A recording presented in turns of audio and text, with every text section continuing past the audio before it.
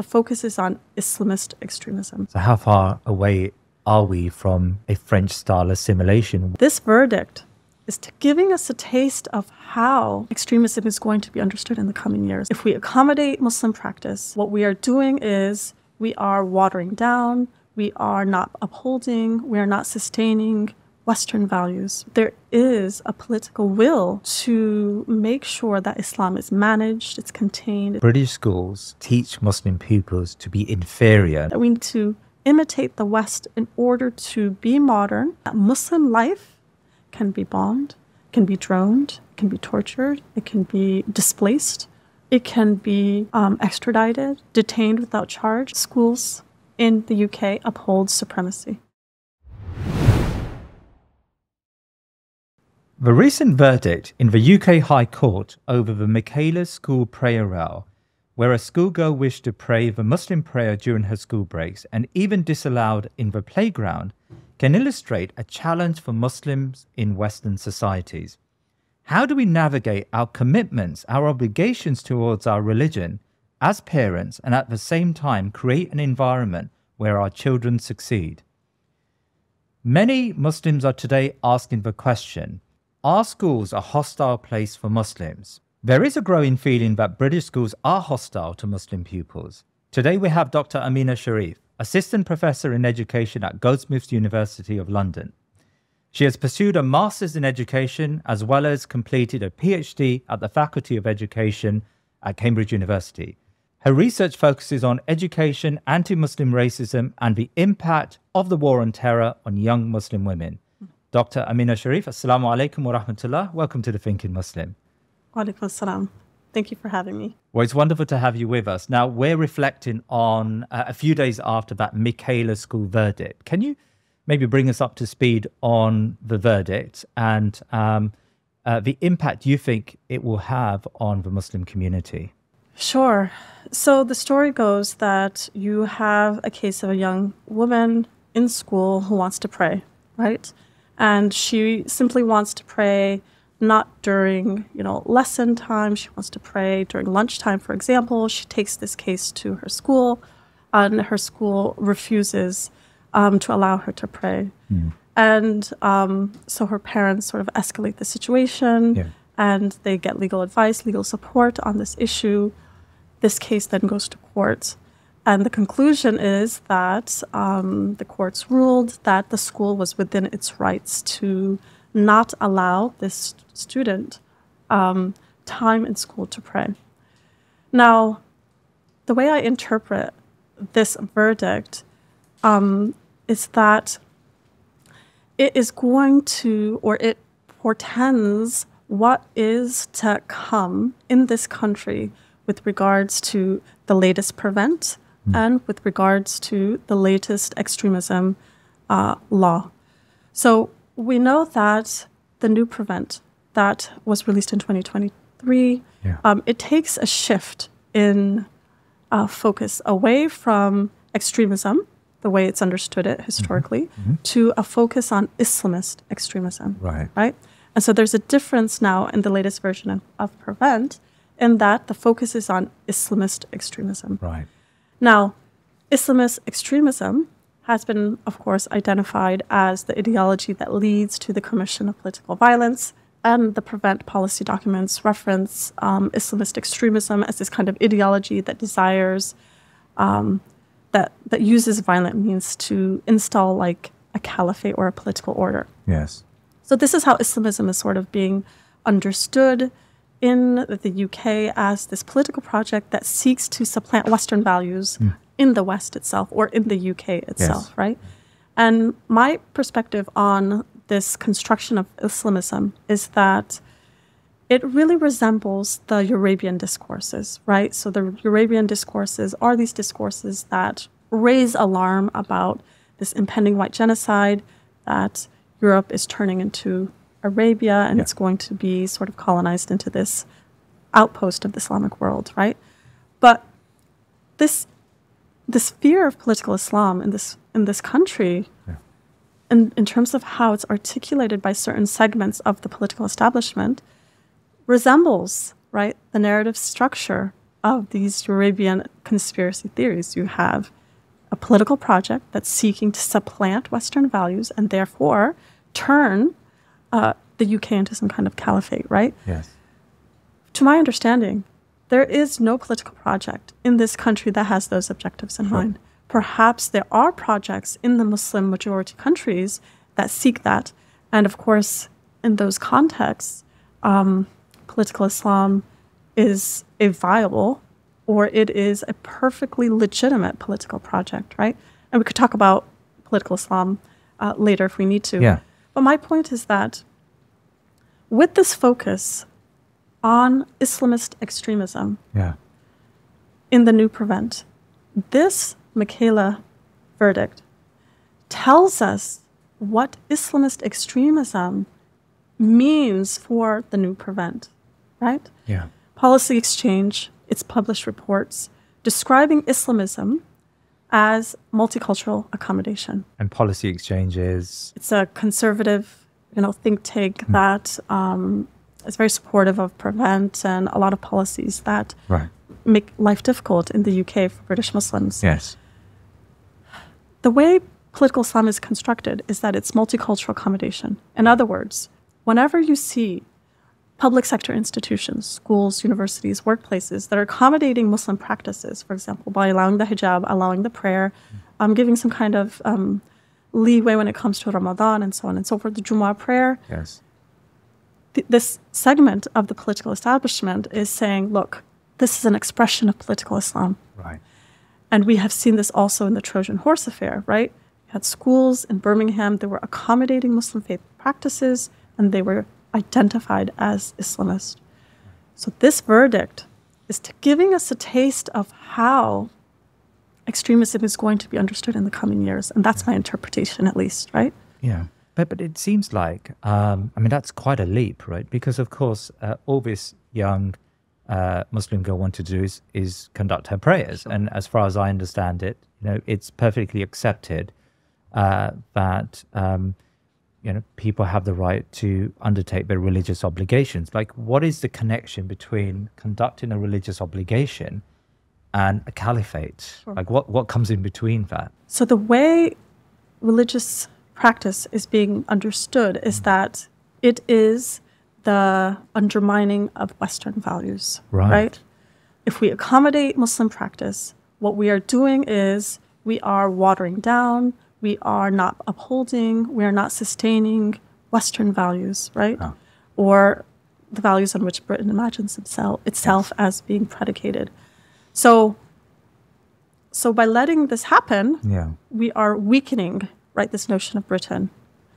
And this weakening of Britain is sort of being constructed as what might come if Muslims are allowed this multicultural practice, right, or this multicultural accommodation.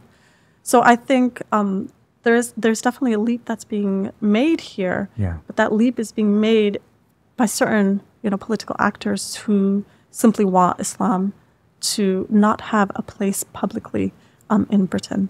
So, how far away are we from a French style assimilation where Islamic practice in public is negated, it's challenged, it's uh, removed from public life? I mean, are you predicting or are you suggesting that uh, Britain, is, Britain is moving in that sort of direction? Definitely, Really? I definitely predict that this is the trajectory that we are on. Really? And the reason why I say this is because we've actually been on this trajectory for a while. Right.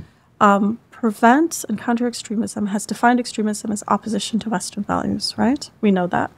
Um, that has slightly changed with the new bill on extremism, which now defines extremism as sort of active efforts to uh, supplant a democratic order and to um, negate the rights that are enshrined in a democratic society, right? Yeah. what what this definition of extremism does is it says anything that doesn't subscribe to look like or you know feel like western values is therefore extremism right what does that do it's it suggests that the only sort of legitimate value system is one that is predicated on liberal thought that's enshrined in, in, in Enlightenment thinking. Yes. Now, that definition itself suggests that there's no other room to be different in this country or express a different set of values, right?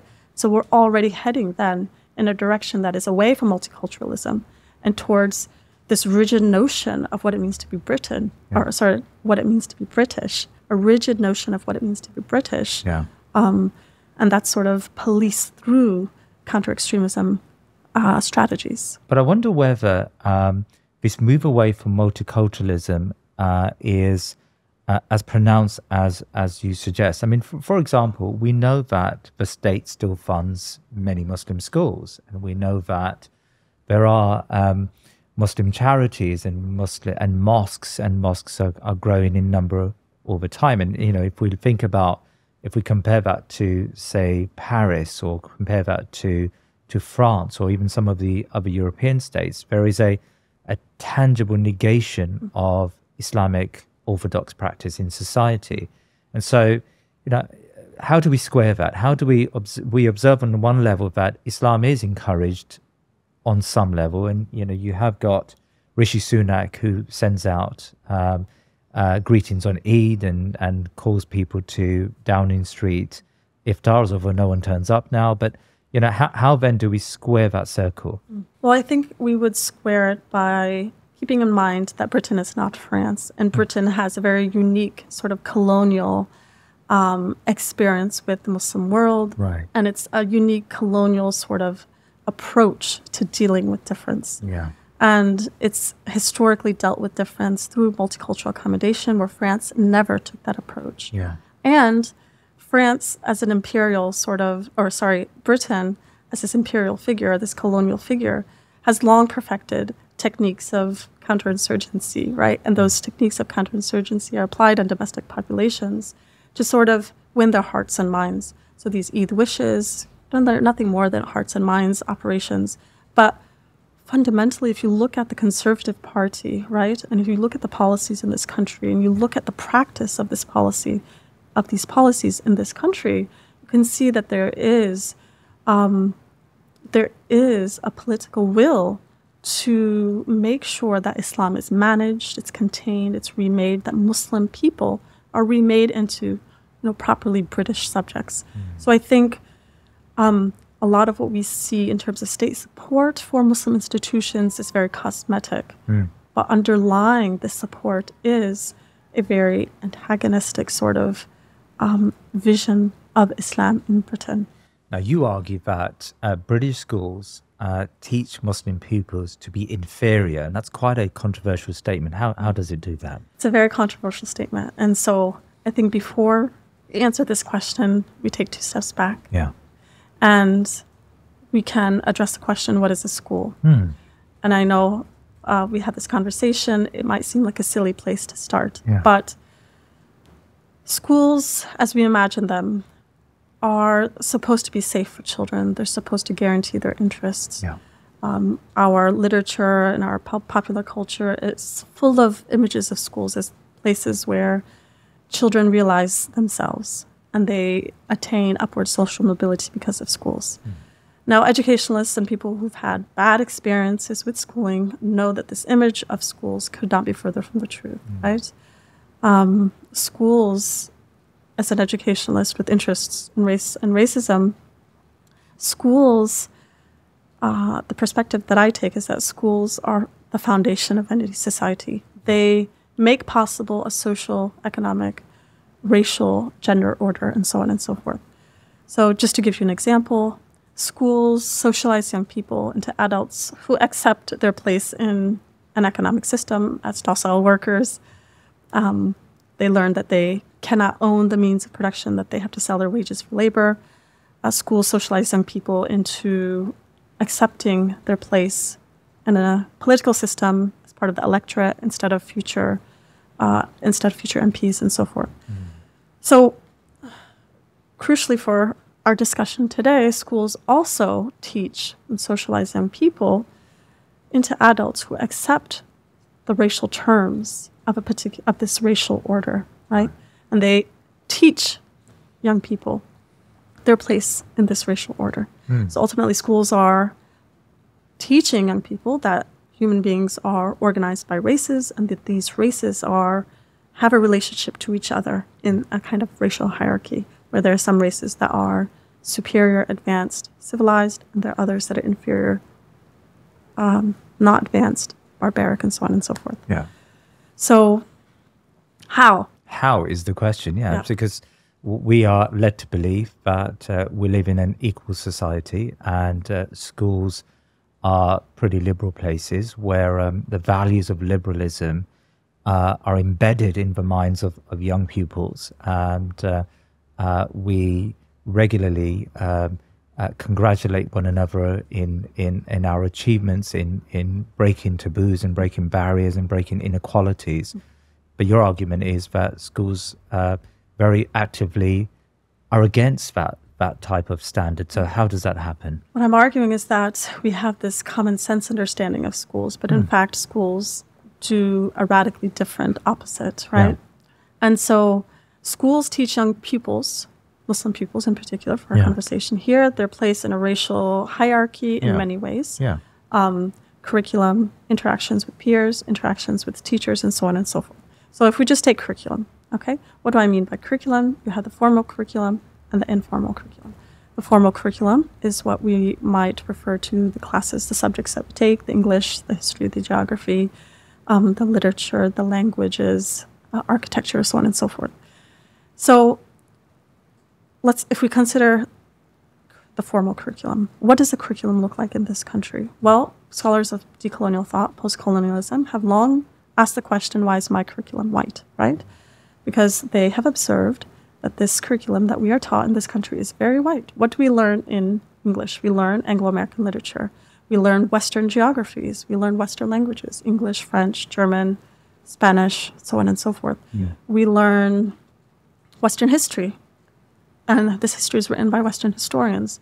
So, what does this white curriculum then do to a brown or Muslim pupil who is Yes. going through an educational career with the white curriculum? What it does is it teaches, or it's analogous to a young person looking into a mirror, looking into a mirror, and seeing no reflection. In other words, they do not see their culture as, you know, a culture that's produced civilization, literature, art, that's produced language that's of any worth, or has produced history. They don't see themselves. They cannot. It's not possible for them to see themselves as uh, makers of history, even right. So, what they are seeing though is a white curriculum where white people are doing all of those things. So they learn about their racial category and they learn about their racial category in relation to whiteness, right? So in this way, schools, just by the white curriculum, teach Muslim people their place in relation to whiteness and their place in a racial hierarchy. Yeah. Uh, what impact does that have on Muslim children uh, when they interact with this education system? Right. So, if you noticed in my language, I made sure to say that this is what schools teach. But what schools teach is still very different from what students learn. Right. So, some students will learn and accept these terms, while others resist and actively disrupt these terms. Uh-huh. Right. So, there's two possibilities then in response to your question. We can have students who learn their place in a racial order, learn that they're in that they are you know somehow inferior uncivilized backwards in relation to whiteness they learn that they need to become something else they need to become white they need to become liberal subjects or you could have you know pupils who who perhaps because at home they've received uh, a different kind of education their parents have supplemented the education that they receive at schools um, they are exposed to an Islamic history. They're exposed to Islamic art, perhaps by traveling abroad and you know just visiting the mosques alone will give you a sense of Muslim contribution to architecture and art, right? Students with that kind of history and background will perhaps be reacting differently to this sort of racial curriculum in schools. So I don't want to say that there's one particular impact on students, but what I can say from my own research is that uh, anti Muslim racism in schools is being expressed by young Muslim women, because those are the subjects that I, uh, or the participants that I worked with, Mm-hmm. they they understood that they were being sort of constructed in a particular way. They were being located in a particular racial category. They were trying to distance themselves from this racial category by becoming less Muslim, by becoming less visibly Muslim, less vocally Muslim. And for me, I interpret that as not just alienation from school, Yeah. but from I, I interpret that as becoming a different kind of person altogether, of of being a, a different kind of subject that's animated by a sense of self that's not necessarily rooted in a Quranic worldview or a Sunnah-based worldview. Now, Dr. Amina, um, there have been attempts to not possibly decolonize the curriculum, but certainly attempts to deal with uh, some of these, um, the whiteness in the curriculum. So I've noticed that over the years there have been attempts to maybe include more black history or even Muslim history uh, in uh, history curriculums, history national curriculum, or attempts to um, bring in um, more cultural literature, possibly beyond uh, Anglo uh, American literature. Um, would you congratulate these attempts? Do you see these attempts to be a move in a positive direction? So my perspective on decolonizing the curriculum is that it's not possible to cosmetically make a significant impact, right? When we have Black History Month, hmm. where we bring in a few, you know, Muslim authors, we talk about Muslim history and so on and so forth, we are not centering that knowledge. And neither are we centering this idea that Muslims are producers or black people are producers of civilization and culture. Hmm. We're simply saying, okay, look, they wrote this poem. Look, they wrote this book. We're reading it. But we're not making any kind of significant shift in our understanding of these racial categories as as communities, as civilizations that contributed to to knowledge itself, that contributed to the trappings of civilization, right? Hmm. And so for me it's it's what we need or a truly decolonized curriculum makes a shift in the way we understand who is fully human, right? And who is fully human is predicated on the idea, on the ideas of what they've contributed to civilization. We can't do that unless we really, really come with a radically different kind of curriculum. Yeah.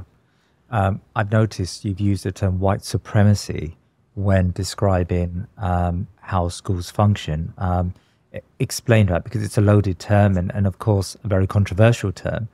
Um, would you would you go as far as to say that there is a, an embedded white supremacy in the uh, in the British curriculum? Well, white supremacy is often understood as, you know, what white supremacists on the street who are part of these far right movements Yeah. are and do and advocate for. Yeah. We never imagine white supremacy as front and center of society itself and especially in schools. Yeah. So, what exactly is white supremacy? White supremacy is simply the view that white civilization is the only civilization that has contributed anything of significance, that its values are universal values, mm-hmm. right? Values of rule of, such as the rule of law, tolerance, freedom, sexual freedoms, that these are the only ways we can imagine human flourishing and the good life, Right. right? when you begin to say that th- these are the only legitimate ways of imagining human flourishing, Yeah. that all social, political, economic, cultural institutions have to look Western in order to be modern, that we need to imitate the West in order to be modern or to to work in or to participate in a global system, Yeah. then what we're saying, what you're essentially saying, is that whiteness is supreme, right? Whiteness is superior. And that's essentially what white supremacy points out hmm. that this is what is being articulated by these demands to accept Western values as universal and to equate modernization with westernization. Now, in schools, I don't know if we can go into it now, but schools are upholding right white supremacy through Yeah. through um, definitions of extremism that they are uh, beholden to watch out for by the prevent duty. How are British schools uh, a front line uh, in the war on terror? My answer to your question connects with the conversation that we just had on white supremacy. Hmm. And I mentioned that schools are beholden to the prevent duty, which is that schools and other public sector organizations, but schools as well, must watch and surveil and monitor pupils for signs of radicalization. And these signs of radicalization um, have been listed in government guidance and documents. But there is a reigning definition here of extremism that is sort of being used to think about what counts as radicalization, mm. right? And that definition of extremism is that is opposition to British values. Of course, that's changed with the new extremism bill. Mm. Now, what does this definition of extremism have to do with white supremacy? Well, this definition of extremism it defines everything that is not Western values as extremist. It, it's putting everything that is not Western in opposition to Western values. So imagine if you have values, so for example, let's take the rule of law. Yeah. This is sort of touted as a quintessentially Western value. Mm. The rule of law is this notion that law is produced through a democratic process. Yes. What then for a group of people, Muslim people, who believe that law might also be, be might also be extracted through divine scripture. Mm. That we are not only you know debating our laws and passing our laws through a particular way, but we have certain laws that we abide by that are divinely sort of uh, enshrined.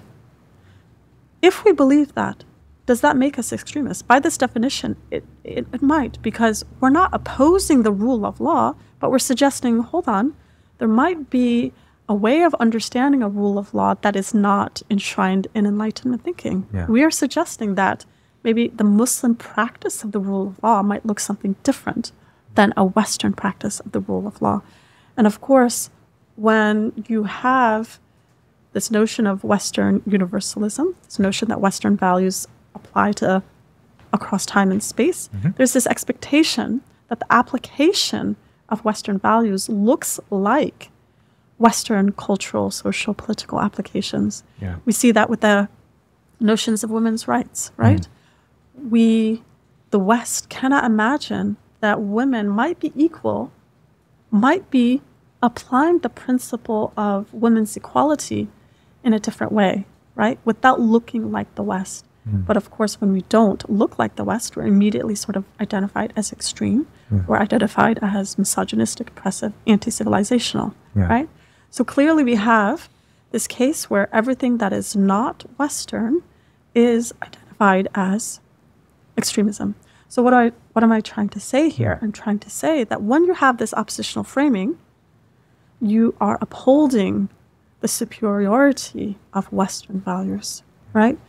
And if schools are doing that by implementing that definition, yeah. then schools are upholding white supremacy. They are practices of Eurocentrism. And I don't know how we could intellectually interpret schools any differently based on this conversation that we've just had and the way I've unpacked how extremism is understood. So, then, in your mind, is it impossible for a Muslim to be a liberal subject? Wow, this is a loaded question. Hmm. now, I think I don't want to suggest that liberal values are in opposition to values that are rooted in a Quranic and a Sunnah based worldview, mm. right?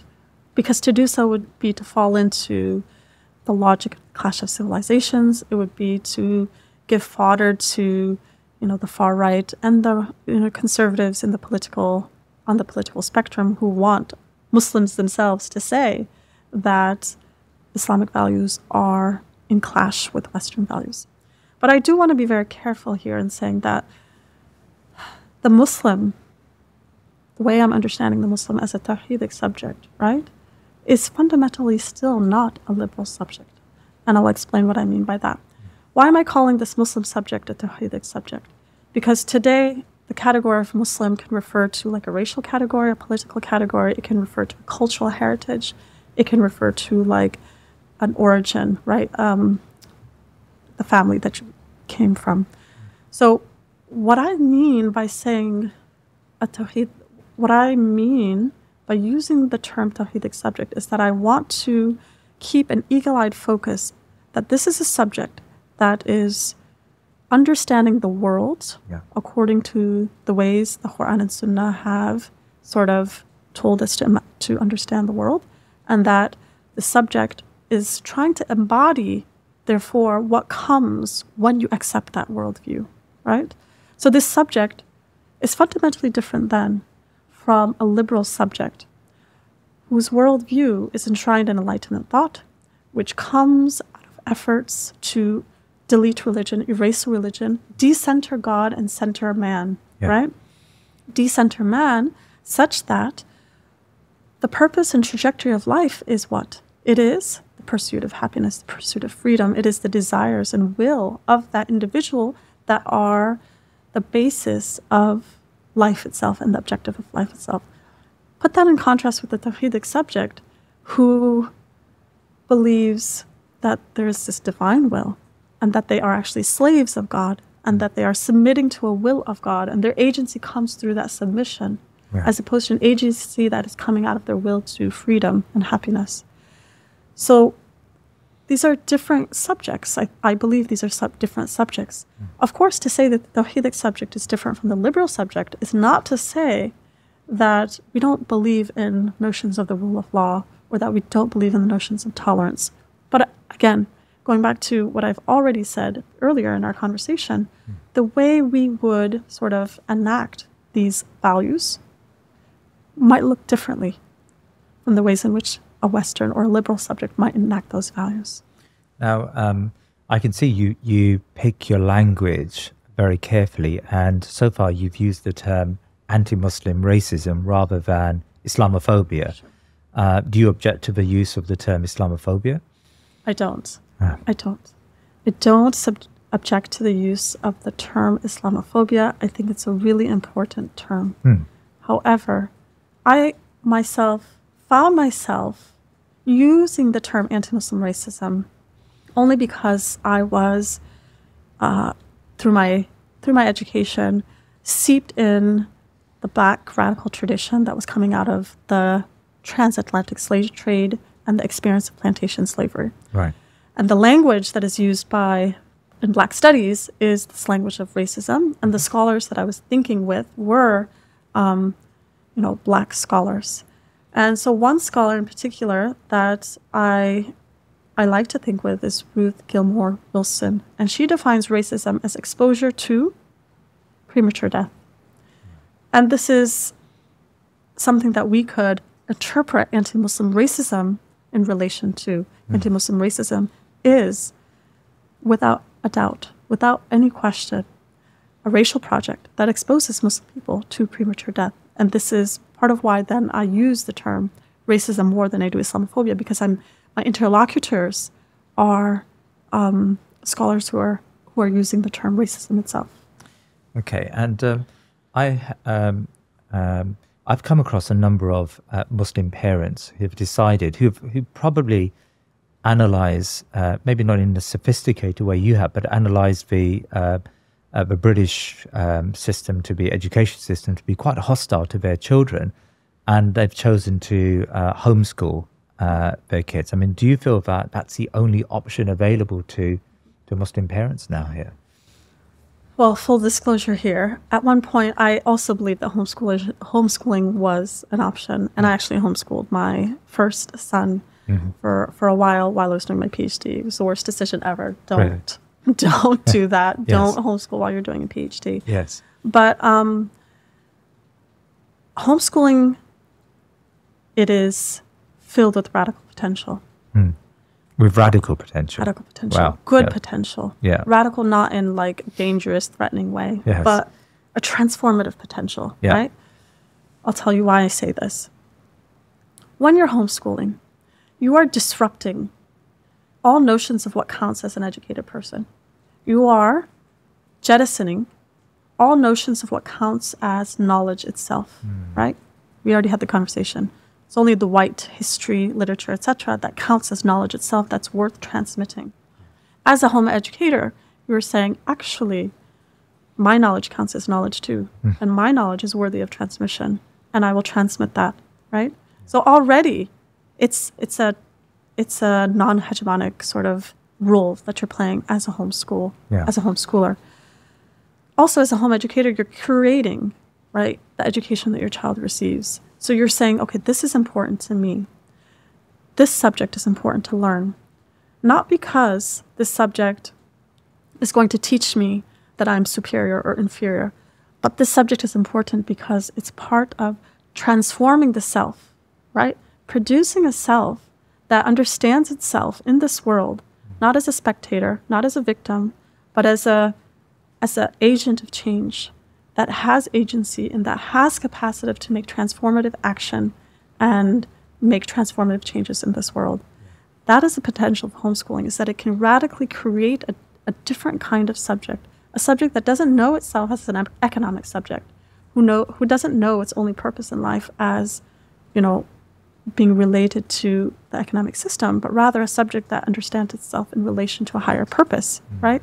In relation to justice, transforming structures of inequality and oppression.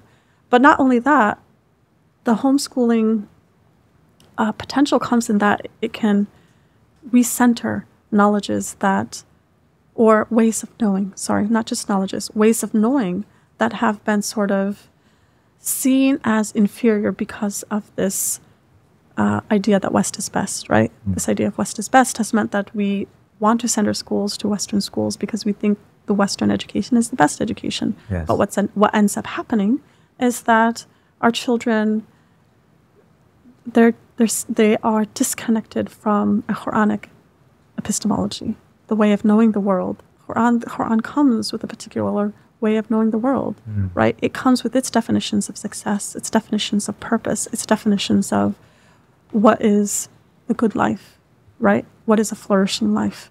And you can't get that through a secular education, but you can, of course, if you supplement that at home after the kids come home from school, on the weekends, and so on and so forth. But a homeschooling context allows you to take that to the next level and sort of center the Quran and Sunnah as a way of um, producing a particular kind of subject.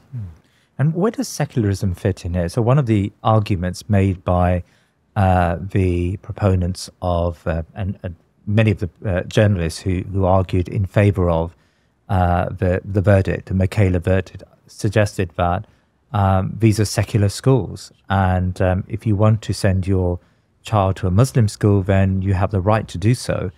Um, and uh, the pupil who uh, went to Michaela, uh, which is a very high performing school, knew very well, and the parents knew very well that this school was um, a, a secular institution. Um, how do you understand the use of the word secularism here in, in the verdict and in, in the conversations that I've had, and since, had since the verdict? That's a great question, and it's an important question because it allows us to touch back to an earlier conversation we had in which you asked me, how are we following this, the French trajectory, right? And in the French context, secularism is sort of the prevailing discourse that justifies the management of Muslim populations. So the way I understand secularism is through the work of Saba Mahmood, and you must be familiar with her work, and I'm sure many of your, lis- your listeners are. Um, Saba Mahmood, she sort of uh, she dismisses the idea that secularism is the separation of church and state. She Right. says secularism is not that, it never was that, and it never will be that, right? She says secularism in practice, historically and contemporarily, what it is, is the management of religion by the state. The state doesn't take a back seat here. It doesn't extract itself from the religious life of its, uh, its national subjects, right? it actively intervenes in them as a way of managing religious difference, as a way of managing religious populations, right? So secularism, again, not separation of church and state, but it's the act of management of religion and the act of management of populations. So we see that here in the Michaela verdict, right? Yeah. By arguing that schools are secular, the verdict is essentially managing, right, how religious difference is expressed. Yeah. It's managing how young people understand the role of their the role of their religious practice in the public. Yeah. So it's very much about managing it, maintaining it, and controlling it than anything else. If you encourage homeschooling, for example, if you um, uh, suggest to parents that they've got to balance, uh, even if they can't, if they're not mobile enough to maybe uh, homeschool their, their children, but uh, they need to balance the curriculum with a strong sense of Islamic morality and history and ethics. Um, isn't there a danger that uh, Muslim uh, young Muslims will exhibit separatism or exhibit tendencies which prevent them from integrating into wider society? I mean, I note that in France, uh, there has been a you know a uh, a discussion about Muslim separatism. There was a separatism bill, which I, I know you've you've spoken about in in the past. Um, how do we uh, appreciate and understand those fears that may exist? Wow, another great question. I think it's a question that needs to be put on the table and discussed because it is sort of the knee jerk reaction that we get when we say, okay, look, homeschool is a viable option to um, what schools are doing to our children, hmm. right? So I guess what we need to challenge is what is the impact of homeschooling on Muslim pupils? The way that it's being understood at the moment is that it leads to um, social regression, that it's going to lead to these young people who will just sort of create these ethnic enclaves. They won't integrate in society. They won't want anything to do with Britishness. They won't feel a part of, you know, belonging. But I would contest that, and I would say, look, what exactly is homeschooling education doing to these young people, right? What it's doing, and if we go back to our earlier conversation on what a white curriculum does, is that it simply mitigates against young people learning that they have no history, that they have no culture, that they are people who have no literature, language, and contribution, that they've made no contribution to society. Mm. Ultimately, what you have are young people who understand that they are all of those things, and therefore they are contributors to culture, civilization, history, math, so on and so forth. Learning, having a strong sense of your history, your past, and your contribution doesn't mean that you will necessarily become a supremacist of your culture, right? It simply means that you have been strengthened. You've been made into a subject that is confident in your history for the purposes of a particular future, which is orienting yourself towards participating in your society as a, as a national subject, as, as a citizen, not just upholding the dominant narratives or the dominant policies of your nation, mm. but again, participating as a change maker, participating in a way that holds you know policymakers, legislators to account for their policies and legislation. So we're essentially trying to create a subject that doesn't imagine him or herself as an economic subject, mm. but an actor of change that lives purposefully, that lives this life with a particular purpose. And I don't think schools can, are necessarily imparting that sense of purpose because, again, education has been so intric- inextricably linked with uh, employment and economic purpose, right? So I would challenge this idea that homeschooling leads to the social regression. I think and I see this in my own son, not to toot my own horn, mm-hmm. but I mean, he is a confident boy. He understands that he might be a Muslim boy, but that doesn't mean that he is inferior, uncivilized. That doesn't mean that he has nothing to, that he has nothing to contribute in the future to British society.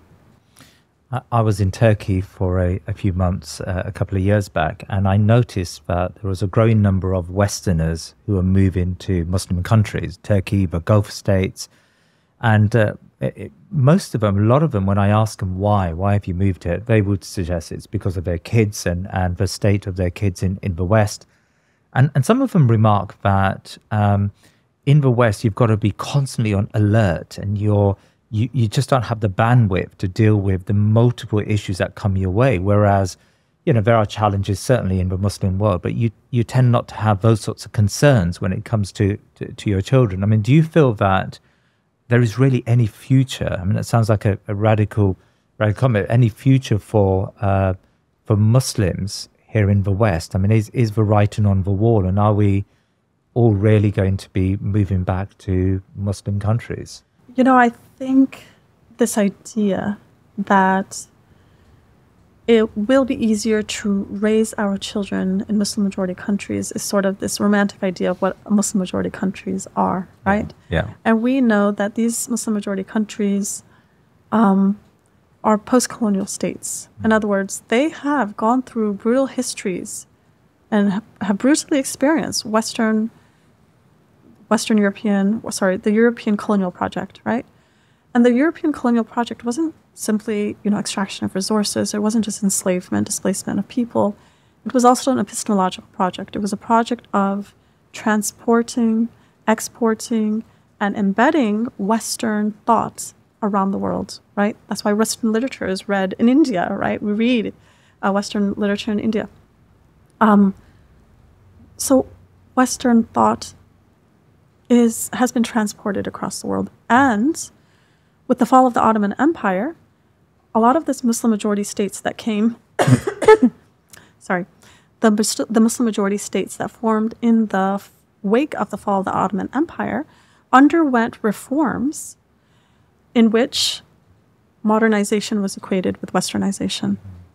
And so you have these Muslim majority states that are not necessarily in their essence or at their heart founded on, again, I say like a Tawhidic metaphysics or a Tawhidic worldview, right? Mm. Again, drawing in this Quranic epistemology, this Sunnah based epistemology, understanding what the world is from the Quran and Sunnah, and then also um, sort of nurturing values that emerge from those um, perspectives.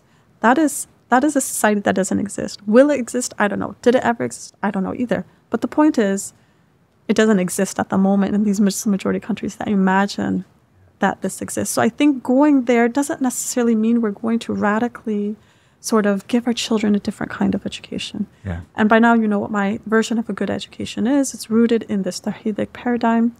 And so I think instead of imagining that the solution is outside of us in a different land yeah. where we need to get up and leave, I think we need to seriously think about how our community centers, mm-hmm. our mosques, our madrasas, our Sunday schools, whatever Muslim institution, whatever, whatever educational institution that we sort of run in this country, how can we begin to do some of that work that we want and are these yeah. sorry, and are these conversations taking place from your yeah. from where you're sitting? Do you see uh, mosques and communities and madrasas and educationalists coming together mm-hmm. and discussing and talking about um, uh, all of what you've just mentioned, uh, your analysis as well as um, how we uh, recenter mm-hmm. the lives of Muslims in this Tawhidic um, uh, sense? Sure. I think there's conversation happening in academia. Mm. And I have myself been a part of some workshops and some academic uh, discussions that raise the importance or talk about the importance of doing this kind of education. Right. But now the next step is to take that outside of these academic spaces into the, the spaces of practice where educational practice actually happens in these sort of secondary um, institutions of education like mosques, madrasas, and so forth um, we need to bring that there. I'm sure that those who are currently running these institutions are there because they have a sense that this is what needs to be done, right? They're there because they see that there's some inadequacies in the current education system, yeah. right? And so I don't think it'll require a lot of work to bring them on board because they're already there. They just need a bit, perhaps, the vocabulary um, to ground what they're doing so that they're a bit certain about their, their, their approach. And I think we need to, we definitely need some kind of social intervention that is systematic, that brings this notion of education to the community and helps them sort of put that into practice. But I think ultimately, you know, what needs to be centered is a Quranic education, right? A Quranic education, but it has to be done differently. It cannot just be about memorizing the Quran, reading it quickly, cover to cover. It really has to be about uh, diving its meanings, doing tadabbur, teaching children that the Quran is a book that you think about and you ask questions. You ask it questions. You ask it, what is God telling me in this particular verse for the particular moment that I'm living, right? We need to train young people to see the Quran as a living document, right? That speaks to them, that is speaking to them all the time, in any time and context, right? In any time and space. And once we, we do that, I think we will have a powerful a powerful educational sort of strategy, right? When we center the Quran. Again, centering the Quran doesn't mean that we neglect knowledge of math, science, geography. Those are fundamental as well. But at the moment, we've taken out the Quran and we've, we've done a great disservice to our notion of education. You cannot have education without the Quran. The Quran gives you the life, gives your heart's life, right? It gives a life life. Without the Quran, our life is not living, it's death, right? So centering, just being very clear that our education has to center the Quran is the first step. And then coming up with strategies to do that, building the curriculum material, material, training the teachers, creating that ethos in our institutions. And then, of course, bringing in all the other sciences, but creating that holistic Islamic education. That is what I think we need to be working towards. Dr. Amina, in, in recent weeks, we've seen uh, a lot of controversy surrounding Muslim students who are talking about uh, what's happening in Palestine, the repression of Palest- uh, Palestinians in Gaza. We've seen uh, a similar uh, situation in the United States where um, there's a, a general consensus amongst the educational elites that um, uh, Palestine and Gaza are, are off limits and we can't have those conversations and certainly can't have activists uh, who are uh, contributing to the to the, the discussion about genocide and ethnic cleansing in uh, in educational institutes, even in, at universities. Um, how do how does one um, understand what's happening over Palestine within your your general analysis? Well, I have two ways to interpret this. Hmm. The first way connects to a conversation we had earlier, which is that schools in the UK uphold supremacy. Yeah. And with the repression of Palestine solidarity, what schools are doing is nothing more than upholding white supremacy. What do I mean by that? What is Palestine solidarity? Palestine solidarity is essentially political activism that comes with a radical claim, which is that Muslim life is valuable, that Muslim life matters, that Palestinian life matters, that Palestinian life doesn't just matter, but it deserves the same rights that any other right that, uh, that any other human deserves, right? The rights to sovereignty, the rights to security, food, water, safety, and so on and so forth, right? What Palestine solidarity is demonstrating or exposing is that you have an international humanitarian legal order that has limitations now, right? Where Palestine is on the edge of this juridical order, this international juridical order. And when you have a limit or an edge to any kind of system, what happens to the Palestinian life that is there at the edges of this order, that are not included in this order, that is not sort of protected by its provisions and its guarantees? What happens is that these people are stripped of their personhood, they're stripped of their political personhood. And for young people who are going to school showing Palestine solidarity, or in higher education, young people who are being silenced, who are being doxxed, who are being shadow banned, who are being so on and so forth for their Palestine solidarity. Solidarity. What is happening is that they learn a very nefarious lesson. It is that there is no guarantee, there is no international system that guarantees Muslim political subjecthood. Okay, there is no international sub, there is no international order that is going to pretend or uh, protect and defend Muslim personhood, legal personhood. The implications of this are very grave. The implications is that Muslim life can be bombed, can be droned, can be tortured, it can be displaced, it can be um, extradited, detained without charge, it can be subjected to a full arsenal of, you know, violent, uh, of state violence, right? Now, what Muslim people that are learning, or young, young Muslim people, is that Muslim life is killable life, right? It's assailable life and it's assaultable life. And this has implications for Muslim women, right? In my research, young Muslim women, after any kind of media spectacle involving Muslim, such as in my research, it was the Christchurch massacre, it was the denationalization of Shamima Begum, these young women were very scared to enter the public domain they were scared to walk in front of their houses. They were scared to go to school. They would hear, for example, the crackle of a water bottle and fear that they would be having acid thrown upon them, right? what you have is a case where Muslim women feel that they are assailable life, right? They feel that they are the next victims of some racial violence on the street. When you have a population that fears for its safety in this way, you have a population that is not able to live fully and realize its potential, right? Because when women don't have that kind of, I mean, feminists have been saying this for a long time. When women's security and women's mobility is not guaranteed, then you have an entire population or a segment of the population that is essentially crippled and cannot, you know, live fully. And for us, Muslim women in our community, they hold a very important role. We are the foundation of a, a community in the sense that we we we transmit knowledge, we nurture children. Of course, men are doing that as well, and men should be doing that as well. But we have a special role within that, right? And when women are not able to move about freely in society or they're not able to sort of feel feel safety, then that is taught to their children in terms of how they ought to feel about their place in society in turn. So I think it's very important to to take into account the impacts that something like the repression of solidarity in schools for Palestine has on your bodily safety and how you imagine yourself as being secure in a society.